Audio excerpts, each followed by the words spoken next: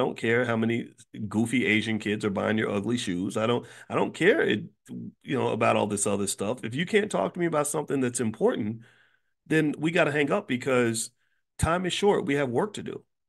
All of us. You have work to do. You know, your family, that's you, man. That's your legacy. That's your last name. That's your that's your institution. That is your Google. That is your Walmart. That is your Microsoft. And and I just encourage you to love yourself enough to just really train yourself to know that that's what matters for you. That you you, you matter to you, your family matters to you, and your community matters to you. And in my view, my humble two cents, that's where you should be giving your best. That's where you're going to get the best bang for your buck. That's where you're going to get your ROI.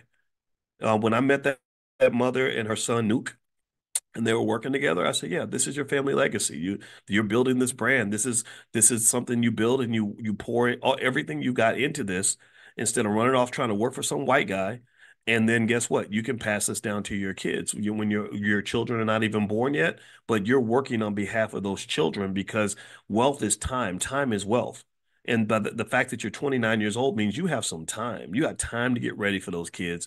And your job is to work your ass off and to build, build, build, build, build just like you're building a house for them. You're building a, a house, and this house is going to keep them warm. This house is going to keep them safe. This house is going to keep them protected from all of the conquerors and the abusers and the people in the world that want to suck your children into slavery. They want to pull them away from where they need to be and put them in places where they're going to be of best use to somebody else. That's what you're doing, man. That's that's what I that's what I that you know, then that's what I was thinking when I was talking to this kid and I was like, come on, man. Like your children are going to be born. We're going to, you, you're going to build this damn thing.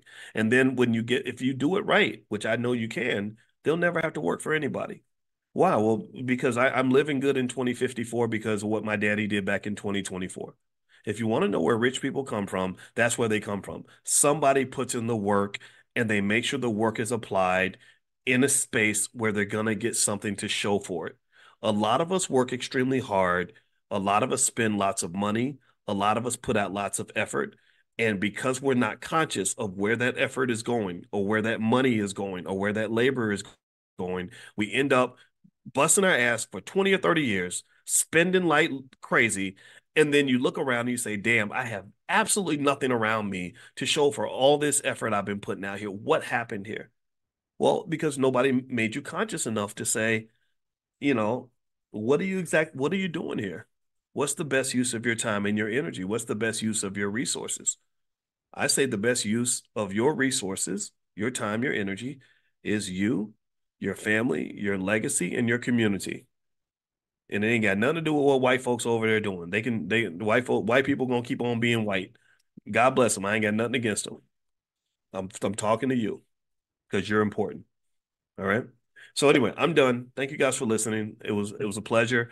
Um, reminder: my book is called "The Ten Commandments of Black Economic Power." We have a Black Wealth Mastery store. Uh, if you want to go over there, my wife has some uh, stuff there as well. Uh, she's a therapist. We have the first ever Black Financial Therapy Department in the Black Business School, uh, where we want to connect to and understand on a scientific level the psychological barriers that keep us from building Black wealth. That's something we've been doing for a while. Also, uh, don't forget the All Black National Convention is October 25th through the 27th in Chicago, uh, Lombard, Illinois to be exact. It's a suburb of Chicago. It's beautiful. It's going to be a great experience. You're going to have a lot of fun, learn a lot, and most importantly, you're going to connect with a lot of like minded people. Like a lot of the people people in this room are going to be at the convention. And in fact, actually, in the next week or two, I'll have the team offer a discount on passes for the convention.